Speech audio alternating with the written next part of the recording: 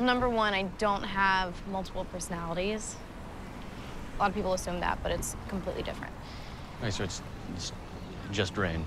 I mean, not exactly. There's a lot of voices that say the worst things that you could possibly imagine. I mean, or, or that I could.